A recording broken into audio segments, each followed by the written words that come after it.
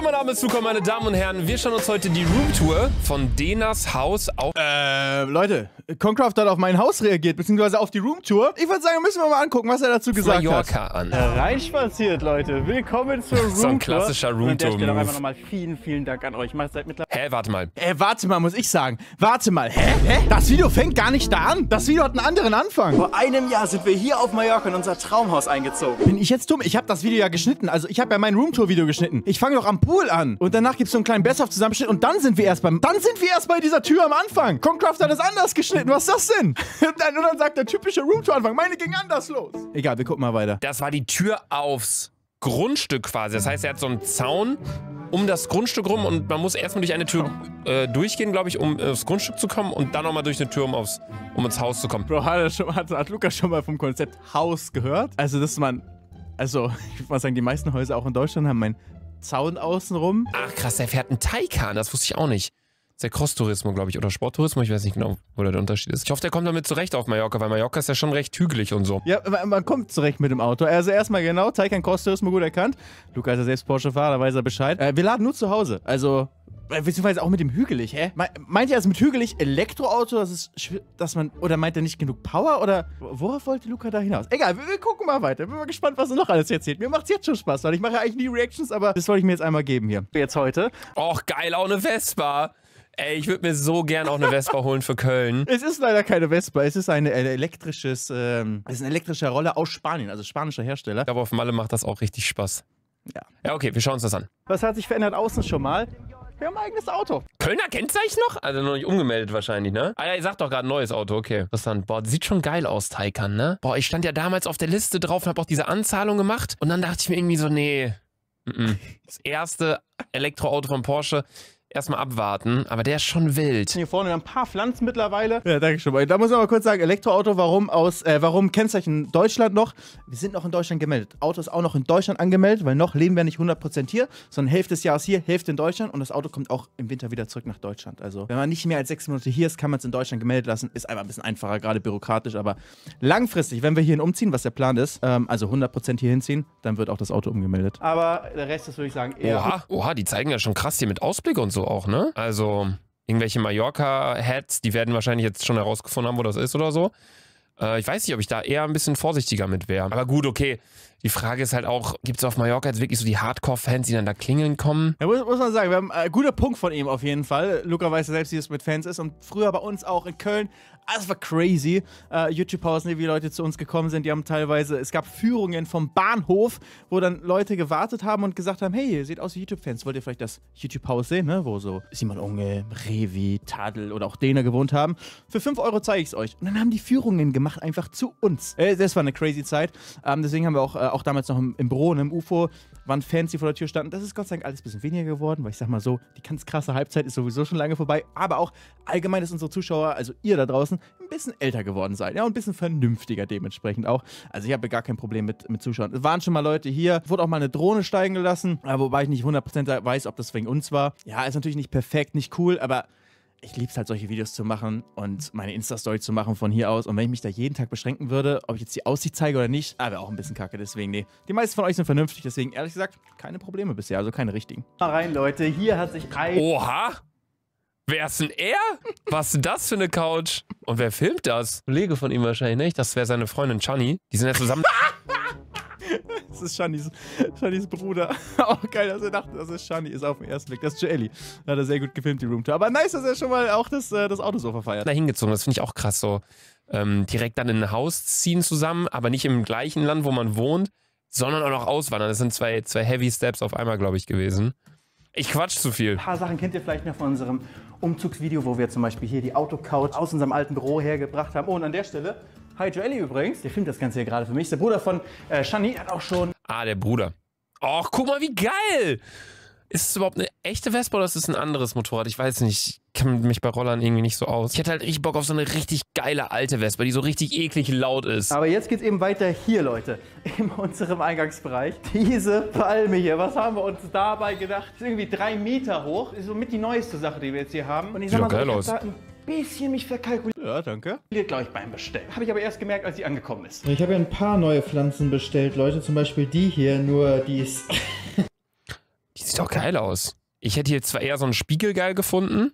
So einen Ein richtig Spiegel? Okay, bin ich mal gespannt. Was meint ihr mit dem Spiegel? richtig großen angepassten Spiegel, damit es den Raum hier nochmal öffnet, weil hier läuft es ja einfach gegen eine weiße Wand. Ähm, Ah, clevere Idee, weil wenn du auch dann hier einen Spiegel hast und dann runter guckst, siehst du nach unten rein. Könnte geil, aber auch crazy. So ein riesiger Spiegel. Will nicht wissen, was passiert, wenn, wie man den anbringt überhaupt und so. Aber ah, keine schlechte Idee. Also der Luca, der weiß auch ein bisschen Interieur, Interieurdesign-mäßig, ne? Da, also, ich glaube, da hat er ein bisschen Ahnung. kann man aber immer noch hinmachen. Ich würde trotzdem noch einen Spiegel hinmachen, ehrlich gesagt. Also ich dachte mir schon, dass die halt cool wäre hier in der Ecke da hinten, aber ich glaube, die ist zu, breit um. Ich glaube, dann fällt sie halt um. also, du brauchst sie Ja. Noch ein Blatt raus, das vielleicht noch. Und Ach, das ist eine Plastikpflanze. Ach so, ich habe mir gerade auch schon gedacht, so als die da, da draußen alles gezeigt haben, das ist schon eine Menge, was sie bewässern müssen, weil so viel regnet es ja jetzt nicht. Aber fangen wir jetzt mal erstmal mit Also draußen sind schon echte Pflanzen bei uns, aber natürlich, dass sie drin sind, Plastikpflanzen. Drinnen regnet es hoffentlich nicht rein. Kommt rein, das hier ist mein Reich, mein Motion-Rennsimulator. Selbst alles zusammengebaut, getüftelt, letztes Jahr lange gedauert.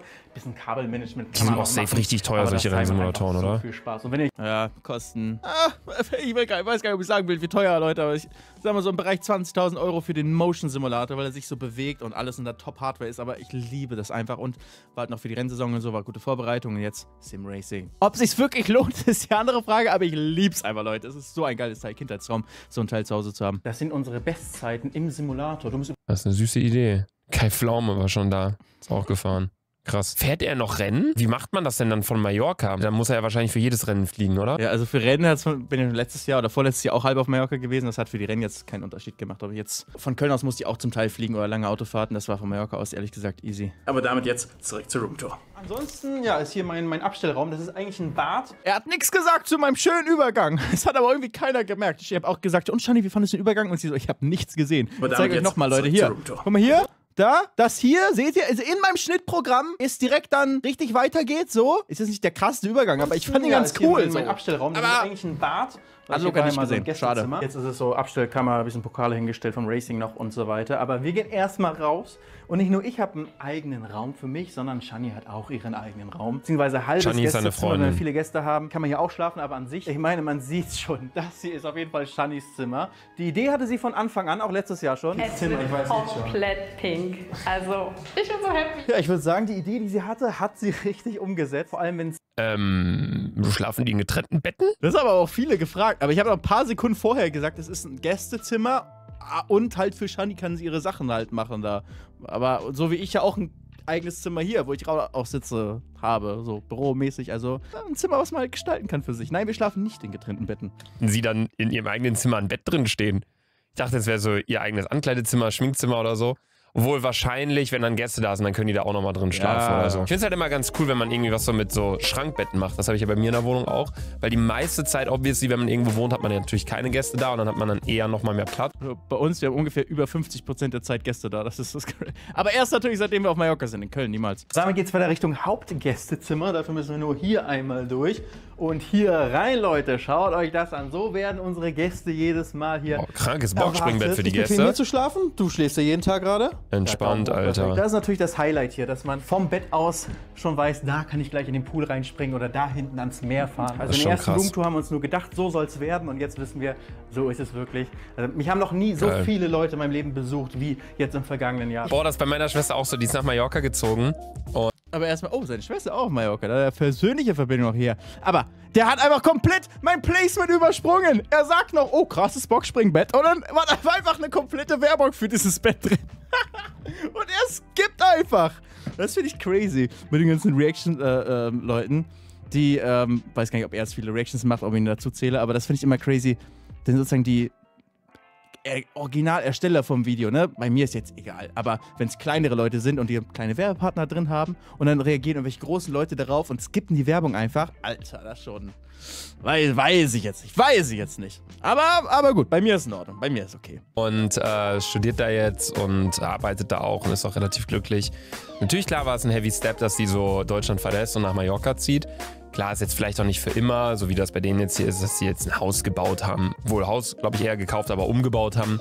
Meine Schwester wohnt da in einer Mietwohnung, aber äh, sie meinte auch, Sie hat bisher kein einziges Wochenende, sie wohnt jetzt seit drei Monaten, kein einziges Wochenende bisher alleine verbracht, weil immer irgendwie Freunde da waren, weil Mallorca ja gefühlt so 17. Bundesland ist und alle Leute kommen immer rum und äh, besuchen sie dann. Ich bin halt voll gespannt so, bisher haben wir nur Schlafzimmer und Arbeitszimmer gesehen. Ich bin voll äh, gespannt so auf Küche, Wohnzimmer und vor allem so Außenbereich. Überall sind ein bisschen Kunstpflanzen. Echte Pflanzen werden bei uns definitiv nicht überleben. Ah, okay, das dachte ich mir schon. Boho. Ich finde es aber auch lustig, also dieses jemanden anderen dazu bei, dabei zu beobachten, wie er ein Video guckt. Also ich mache eh schon eigentlich keine Reactions, aber jetzt mache ich eine Reaction auf eine Reaction. Das ist schon sehr interessant. Ich gucke mal, und was sagt er jetzt zu dem Video?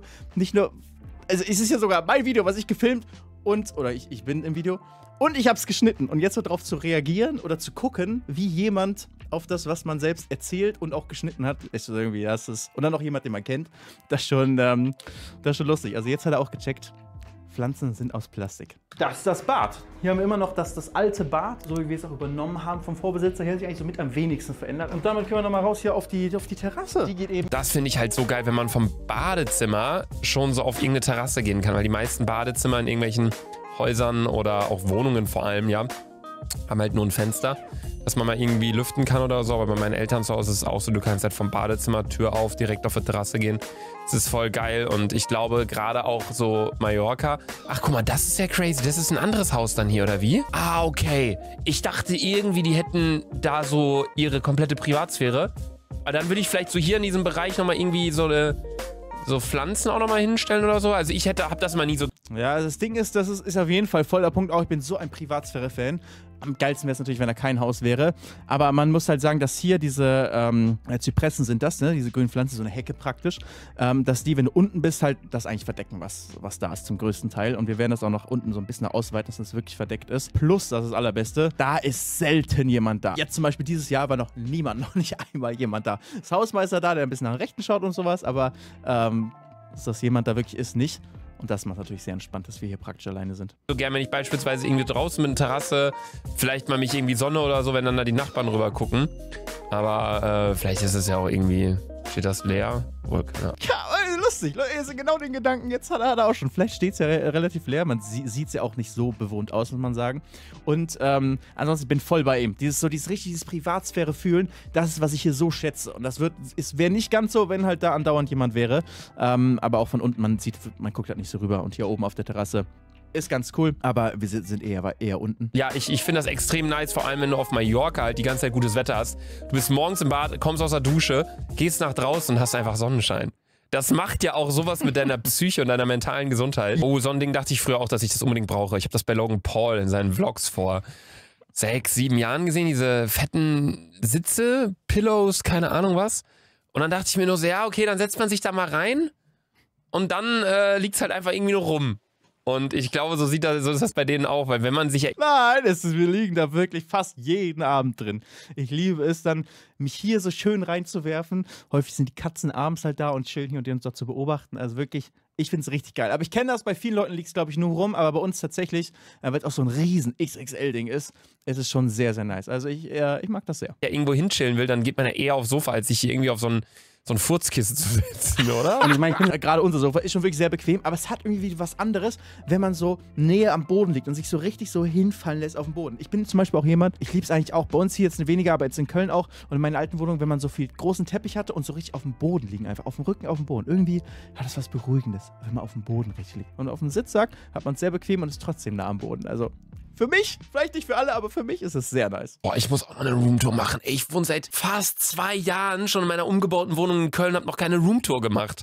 Kommt bei mir auf jeden Fall auch bald. Aber ich finde, das ist so Privatsphäre, das ist so, weiß nicht, das ist das letzte Stück Privatsphäre, was man hat. Ich check das total, was er, was er sagt. Ich habe auch immer, mir immer mal wieder Gedanken gemacht, so, will man dieses Private, was man noch hat in der eigenen Wohnung, auch noch in die Öffentlichkeit tragen? Also gerade als jemand, der ja auch viel von der Privatsphäre teilt und viel von dem, was man privat macht, teilt, ist es so, wenn man noch keine Roomtour gemacht hat, was ich auch zum Beispiel in meiner Kölner Wohnung lange Jahre nicht gemacht habe, dass man so es fühlt sich vielleicht noch mehr einen Tick nach zu Hause an. Irgendwann habe ich aber die Roomtour gemacht und es war jetzt nicht irgendwie mehr negativ für mich. Also ich glaube, es ist auch ist irgendwo so eine Kopfsache. Für mich passt trotzdem und wie ich da gerade auch schon in der Roomtour gesagt habe, so irgendwie, seitdem ich erwachsen bin, bin ich YouTuber und also und schon kurz davor. Irgendwie gehört es für mich dazu, wenn ich sowas wie das Haus hier, was auch mir durch YouTube einfach ermöglicht wurde, durch euch, irgendwie gehört es für mich dazu, das so in einem coolen Video auch verpa äh, zu verpacken und für euch da draußen. Und wenn ich hier alleine chille und die Kamera ja äh, 99% der Zeit aus ist, da denke ich nicht daran, dass das oh auch in der Roomtour irgendwie online ist, sondern das, das passt trotzdem. Aber ich check den Gedankengang, weil den habe ich auf jeden Fall auch gehabt, den, er- den er da nennt. Das ist unser neues Wohnzimmer. Wenn wir jetzt mal gucken, wie das alte Wohnzimmer aussah. Uff. Ei, ei, ei, ei. Das ist, Das ist eine krasse Veränderung. Unterschied. Cooler Übergang. Hier können ja easy zwei Nationalmannschaften sitzen. Aber gut, okay, wenn man halt so diesen, diesen spanischen Lifestyle so ein bisschen äh, zelebrieren möchte, auch mit vielen Gästen und so. Und dann hier irgendwie Tapas essen auf dem Tisch, dann hast du hier so zehn Leute sitzen oder so, dann ist, glaube ich, auch ganz geil und auch sinnvoll, wenn man so eine große Couch hat. Couch muss, glaube ich, nicht viel erzählen. Da habe ich schon mal ein ganzes Video darüber gemacht, was für ein Aufwand das auch war, die hier aufzubauen. Aber wir sind mega happy, Leute. Wir sind richtig zufrieden. Egal ob zum Chillen mit, vielen Leuten, dann sitzt irgendwie in jeder Ecke jemand oder nur Shani und ich. Dann ziehen wir uns zum Essen abends das hier hoch und essen eben. Ach. Wahnsinn. Oh mein Gott, ey, so ein Tisch, ne? Das hatten meine Onkel und Tante hatten das zu Hause. Und ich fand's immer voll Opfer irgendwie. So, wo ich mir so dachte, Digga, macht euch doch was zu essen. Esst das am Tisch normal in der Küche und unterhaltet euch dabei. Wenn ihr Fernsehen gucken wollt, dann, dann lehnt ihr euch halt an und guckt Fernsehen. Aber das jetzt auch noch zu verbinden, so dann macht ihr doch noch hier ein Waschbecken daneben, dann kannst du auch noch direkt Zähne putzen. Das fand ich immer so ein bisschen Opfer. Aber jetzt, wenn ich das so sehe, es ist schon entspannt. Also ich glaube, ich würde es aber eher nutzen, nur wenn ich alleine wäre. Weil sonst würde ich mir halt vorkommen, was kochen mit einem Partner und dann nebeneinander sitzen und was gucken. Dann ist die, Be also nicht, dann ist die Beziehung vorbei, aber das ist doch mein dann so, Gott. man kann doch dann auch so die Zeit zusammen verbringen, würde ich mir so denken. Also ich verstehe auf jeden Fall, was er, was er meint. Aber mit dem noch, komm mal auf Waschbeck da auch noch hin machen, dann musst du gar nicht mehr aufstehen. Für, ich, ich glaube, es ist so das Ding, wenn man zum Beispiel beide Partner gehen arbeiten, sind den ganzen Tag weg und dann ist häufig so das Abendessen so das, wo man endlich dann zusammenkommt und die Zeit zusammen genießt und dann vielleicht auch gemeinsam in der Küche kochen. Das machen Shani und ich zum Beispiel auch. Und dann auch das Essen zusammen zelebrieren. So, check ich voll. Machen wir auch häufig. Es ist nicht so, dass wir nur da essen. Und gerade wenn Gäste da sind, essen wir auch nur am Esstisch äh, mit, äh, mit allen zusammen. Aber wenn wir nur zu zweit sind, so einen entspannten Abend, es ist das Geilste. Es ist eigentlich genau wie er gesagt hat. Wenn er alleine wäre, könnte er sich's vorstellen. Und ich finde es ja auch das Geile in der Partnerschaft, wenn man da Sachen machen kann, die man eigentlich gerne auch alleine machen würde manchmal, ne? einfach nur chillen und man sich über nichts Gedanken machen, dass man die auch in einer Partnerschaft zusammen machen kann. Wenn man nur jeden Abend da sitzen würde und sich gar nichts zu sagen hat, klar, das wäre scheiße. Aber wir machen so viel zusammen und manchmal ist es einfach nice, es entspannt abschalten, da am Tisch sitzen, zusammen was gucken, über das man sich ja danach auch unterhält, aber auch einfach abschalten, zusammen essen genießen. Es ist schon, äh, ich liebe diesen Tisch, Leute, er ist so nice. Und hier den Tisch, den habe ich auch schon mal in einem Video gezeigt. Damit sind wir auch immer noch richtig zufrieden. Schön rund auch, das bricht auch diese ganzen Ecken und Kanten, die das Haus sonst hat, so ein bisschen auf. Dann kommen wir zur Küche. Mm, Sehr, sehr gut. Ich habe auch einen, so einen, also nicht komplett rund, aber so einen ovalmäßigen Tisch äh, bei mir oben in der Küche. Und ähm, auch alle meine Freunde meinten erst so, "Hä? runder Tisch? Wie, hä? Nee, bist du China-Restaurant? Wo du halt immer diese runden Tische hast zum Drehen mit diesen Drehplatten drauf. Aber ich meinte auch nur so, ey, lasst es mal auf euch wirken. So nach dem Motto, wenn ihr mal da seid. Und seitdem meinen auch alle, boah, beste Entscheidung. Du kannst in jede Richtung gucken, schauen. Ja, das ist echt das Ding. Also wenn wir auch, wenn wir Gäste da haben und mit mehreren Leuten halt rundum sitzen, es ist so cool, dass man sich halt, jeder kann mit jedem gleichermaßen sich unterhalten. An einem rechteckigen Tisch bist halt immer irgendwie, einer muss so über den anderen hinweg gucken, um irgendwie mit- miteinander zu reden. Dann ist irgendwie einer in der Mitte, der muss sich zurücklehnen, damit die sich sehen oder nach, oder nach vorne, wenn sie sich dahinter vielleicht sogar unterhalten, wenn irgendwie noch mehr Leute da sind. Es ist irgendwie, nee, runder Tisch, alle miteinander zusammen. Mega geil. Zur Küche. Hier hat sich, glaube ich, auch wenig verändert, bis auf die ganzen Küchengeräte. Wobei, äh, Kaffeemaschine war schon in der ersten Roomtour da. Das war das erste neue eigene, was ich in dieses Haus eingebracht habe. Stand noch nichts da, da stand schon die Kaffeemaschine letztes Mal da. Aber mittlerweile auch, ihr seht, wir haben eine ganze Armada hier an Küchengeräten da, die sogar fast alle Aber benutzt geil. werden. Was auch benutzt wird, ist hier die Wäschekammer. Dahinter ist noch der Heizungsraum. Heizungskeller ist sozusagen ebenerdig Heizungsraum. Aber ja, so viel dazu. Dann haben wir hier noch unseren Ich, ah, ich hätte mir gewünscht, dass er die Küche noch ein bisschen mehr zeigt und die ganzen Geräte da, da erklärt. Weil das finde ich schon interessant. Die meisten YouTuber sind ja eher so, ja, Essen bestellen, Essen gehen. Ja, bei uns ist auch das Ding, wir haben keine Lieferservice. Also es gibt vielleicht, ich glaube, einen Inder, den haben wir noch nicht ausprobiert und eine Pizza, die potenziell liefert, aber meistens holen wir sie einfach selbst unten. Die ist auch sehr, sehr geil. Ähm, aber wir haben halt, in Köln sind wir in der Mitte der Stadt so. Da ist es richtig schwer, nicht zu bestellen. Also man muss sich immer so überwinden, doch, komm, lass kochen. Weil man könnte sich alles bestellen. Und äh, hier gibt es halt nichts, deswegen wird hier zu 90% wird's gekocht. Diese große Küche ist so nice. Auch wenn wir Gäste haben, kochen wir häufig mit den Gästen zusammen. Und äh, dass man einfach viel Platz hat. Jeder kann so ein bisschen was machen. Jeder ist an verschiedenen Orten in der Küche, hat Platz für sich. Man ist nicht eingeengt. Ist wirklich so nice. Zu Hause grillen. Du hast ja so eine riesige Fischauswahl auch auf der Insel und den ganzen kleinen Märkten und so. Da muss man kochen. Ich bin ja eh ein riesiger Kochfan geworden in den letzten Jahren und habe auch zahlreiche Geräte, um irgendwie Essen äh, zu machen. Weil du dir halt dann einfach selber, vor allem auch in den letzten anderthalb Jahren, wo ich mit Fitness mehr durchgezogen habe, du kannst dir halt einfach selber deine Portionen machen, wie du willst. Das ist schon geil, so finde ich so. Also wir haben das jetzt vor zwei Monaten, war ich zuletzt auf Mallorca und ich bin in einer Woche auch wieder da, weil meine Schwester Geburtstag hat. Ähm, da haben wir es so gemacht, dass man da wirklich, ähm, da gehst du so frisch, nicht irgendwie so wie in, in Deutschland, du gehst in den Aldi und holst dir irgendwie deine ganzen Sachen und dann Gemüse und dann bastel das irgendwie, sondern du gehst wirklich auf so einen Markt und holst das total frisch. Du holst Fang. Wobei man muss sagen, wenn man Urlauber auf Mallorca ist, dann nimmt man auch eher mal auf den Markt. Wenn du hier lebst auf Mallorca, gehst du nicht immer auf den Markt. Also wir gehen auch gerne auf den Markt, aber wie es gut ist, es gibt auch so hier sehr geile frische Lebensmittel. Ähm, Akromat zum Beispiel ähm, ist es so ein das ist ein Laden, wo du einfach super geile frische Lebensmittel immer hier bekommst und auch die Supermärkte haben, also die normalen Supermärkte haben gute Sachen. Selbst, es gibt Aldi und Deal hier auf Mallorca. Die haben so viel krasse Auswahl, was alleine auch so Fisch- und Meeresfrüchte angeht. Du kannst so Muscheln aus dem Tiefregal da dir rausholen. Ich esse keine Muscheln, aber ich fand es so krass. Beim Aldi und Lidl kannst du das machen mit so, einfach so rausholen. Es ist einfach, hier ist, ich würde sagen, es ist einfach mehr Wert wird aufs Essen allgemein in, auf Mallorca oder in Spanien allgemein gelegt als jetzt in Deutschland. Ähm, das macht den Unterschied. Aber jeden Tag auf den Markt gehen ist eher so, glaube ich, so eine Urlaubsvorstellung. Im Alltag, das ist ein bisschen übertrieben. Ich glaube, auf Mallorca, ich würde auch richtig viel kochen und ich glaube, das machen die beiden auch. Wo wir noch viel verändert haben, ist das Gästeklo hier, Leute. Schaut mal, was ich hier alles reingestellt habe. In dieses kleine Bad. Man kommt Alter. hier rein und du hast direkt so einen kleinen Buddha in einem Wasserfall, der What läuft. the fuck? Entspannungsmusik raus. Die kleinen Äffchen hier schauen natürlich nicht zu, hören auch nichts, aber machen zusammen mit den Pflanzen hier auf jeden Fall, finde ich, eine sehr cool. Alter, also das ist ja, das ist falscher Ehrgeiz meiner Ansicht nach. Klar, wenn die Zeit und Bock darauf haben und wenn denen das gefällt, in Ordnung. So, das sage ich auch immer bei meinen Reactions, ne? Das ist ja einfach nur meine persönliche Meinung. Ich hätte das natürlich alles irgendwie anders gemacht, genauso wie Person X es wieder anders gemacht hätte.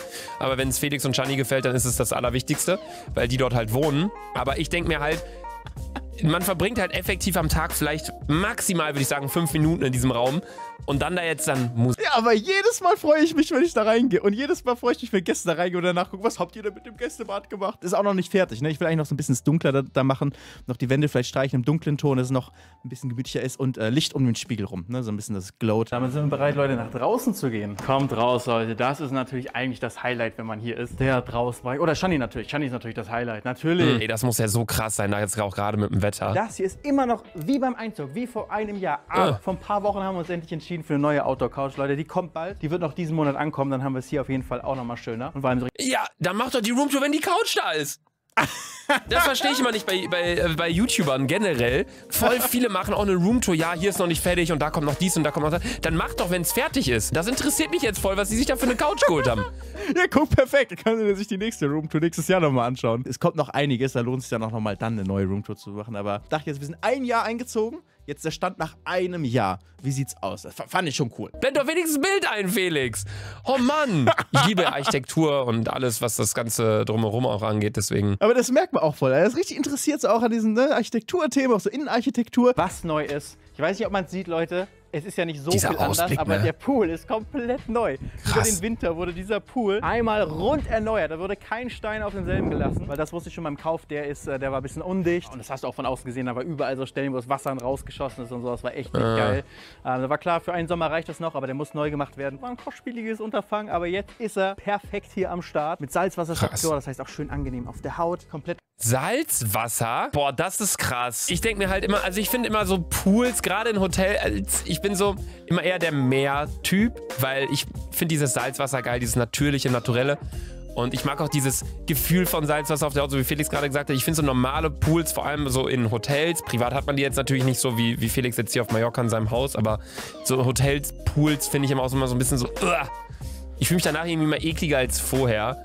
Und äh, das ist krass, dass die da Salzwasser mit drin haben. Jetzt glaube ich aber in der Wartung und alles mögliche ein bisschen komplizierter als mit normalem Wasser. Also ich meine, fängt das ja gerade an, ich bin Pool-Neuling, aber mir wurde gedacht, das ist eigentlich simpler, solange man die richtigen Materialien hat. Deswegen haben wir den ganzen Pool neu gemacht. Ähm, das muss alles sozusagen salzwasserbeständig sein, weil sonst leichter korrodiert oder wie das heißt und ne, rostet und was weiß ich nicht alles. Ähm, aber wenn man die richtigen Materialien hat, ist es eigentlich simpler, weil du nicht so viel Chemikalien da reinpuppen musst, sondern in erster Linie Salz und ein bisschen pH-.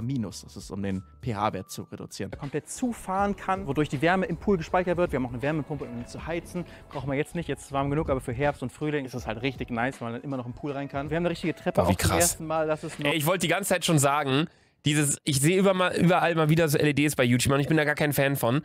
Einzige, wo ich es feiern würde, wäre wirklich an einem Haus. Aber so Indoor finde ich LEDs einfach nur nervig. Aber hier, wenn du den Pool dann mal rot machen kannst oder blau oder so, Das ist schon ein ganz anderer Vibe, ne? Diese Abdeckung, die verschwindet Schaut mal jetzt hier, wenn das so komplett rot ist, das ist schon was ganz anderes. ziemlich nice ist. Unsere neuen Lounge-Möbel. Oh, mit so einer dicken Matratze wie ein Bett fast schon. Die sind wirklich richtig chillig und äh, das ist deswegen auch mein, das ist glaube ich mein Lieblingsort. Nach dem Rennsimulator ist das hier mein Lieblingsort im ganzen Haus. Schön am Pool. Und noch schöner wird es sogar demnächst noch, denn hier Leute, diese ganze Ecke wird mit Naturstein verkleidet. So richtig mallorquinischer Stil, also viele Häuser auf Mallorca haben das. Ähm, ungefähr wie das, das ist nur so eine Probe gewesen. Hat lange gedauert, bis wir eine Genehmigung hatten von der Stadt hier. Muss in Spanien alles Ja, das ist. Ja, okay, sag, ja, okay sagt das wahrscheinlich auch. genehmigen lassen, selbst so Kleinigkeiten. Wir haben sie aber jetzt bekommen. Ja, das ist so irre. Wenn du irgendwie, also ich weiß auch nur, wie es auf Mallorca ist, wenn man da eine Immobilie baut, aber wenn du auch, also ich kann jetzt obviously nicht sagen, wie es in Barcelona oder Madrid ist, aber Mallorca, du musst sogar Sachen, wenn du in deinem Haus etwas verändern willst, musst du das sogar gefühlt abklären. Ja, ja, ist echt krass. Du brauchst für alle möglichen Sachen brauchst du die Genehmigung auf Mallorca. Also wenn du wirklich irgendwie so ein, so ein, so ein, was wollte man da machen, so ein Wintergarten oder so, aber halb umbauen, dass das so halb offen ist, so mäßig. Das ist so dumm, irgendwie das zu machen, weil du denkst dir eigentlich, ey, das, der Jeep stört immer bei meinen Videos, ne? Firat, ich nehme gerade ein Video auf. Willst du was sagen? Guten Morgen zusammen. Firat ist 18 Uhr. Also, ja, ich bin gerade aber aufgewacht, deswegen. Die Bauarbeiten ja auch schon angefangen, ne? deswegen hier liegt das ganze Holz. Das ist das, was hier neben dem Pool immer war. Das wird jetzt auch äh, neu gemacht, weil das Holz war komplett durch, Leute. Da kommen stattdessen Fliesen hin in Holzoptik. So sehen die aus. Also es ist kein Holz, aber sieht aus wie Holz. Und die kommen dann eben jetzt hier hin. So. Und zwei von den Liegen sollen dann auch hier. Ihr seht, so, so ein bisschen Baustelle ist eben gerade noch. Hier liegen auch die ganzen Fliesen hier unten. Neben, habe ich noch gar nicht gezeigt, unserem eigenen Esstisch. Hier draußen sah es ja auch nicht ganz so nice aus mit dem alten Tisch, aber der neue hier, der, ist, der passt schon deutlich besser zu uns. Vor allem mit dem Teppich, Leute. Teppich macht so viel aus. Wenn ihr einen überdachten Balkon habt oder überdachte Terrasse, macht euch einen Outdoor-Teppich hin. Es ist so viel bequemer. Aber damit haben wir Wofür braucht man denn einen Outdoor-Teppich? Ach, Bootszu... Oh nein, Digga. Oh. Ich frage mich, was, ich frag mich gerade. Was, also erstmal zwei Sachen. Wozu braucht man einen Outdoor-Teppich? Hä, weil es bequem ist. Du bist ja barfuß auf der Terrasse und dann so schön fluschi, so flauschigen Teppich ist das Beste. So, aber jetzt frage ich mich, was er macht. Seine Maus, seht ihr das hier? Das ist seine Maus. Und die ist gerade auf meinem Bruder. Das ist mein Bruder Simon. Mit dem war ich auf der Bootstour ähm, in Hamburg bei Monte. Und er sagt gerade, nee, Digga, warte, nein. Und macht den hier. Was für eine Story hat, hat Luca mit meinem Bruder? Fragt ich mich, haben die sich mal getroffen? oh nein, fuck. Mir fällt gerade auf, der hätte ich Monte noch schreiben sollen. Ah, Gott sei Dank, ich dachte schon, irgendwas kommt zu meinem Bruder mit ihm. Nee, ähm, ja, also jetzt muss ja eigentlich, Felix muss ja jetzt nochmal eine Roomtour kommen, oder? Wenn draußen alles fertig ist, wenn äh, dann diese Couch da draußen da ist, wenn das alles draußen verkleidet ist, wenn die Holzoptik-Fliesen dann da sind. Mir hat's gefallen, mir hat's richtig Spaß gemacht, hier das Video anzugucken. Danke, Luca, für die äh, Reaction. Und äh, ja, ich hoffe, ihr hattet auch Spaß hier beim Zuschauen von der Reaction auf die Reaction. Wenn ihr auch wollt, dass ich noch eine neue Roomtour mache, schreibt's in die Kommentare. Und ansonsten sehen wir uns beim nächsten äh, Gaming-Video wahrscheinlich wieder auf diesem Kanal. Oder vielleicht noch irgendeine Reaction. Mal gucken. Vielleicht mache ich das ja doch nochmal ab und zu. Bis dahin auf jeden Fall, Leute. Macht's gut, vielen Dank fürs Zuschauen und ciao, ciao.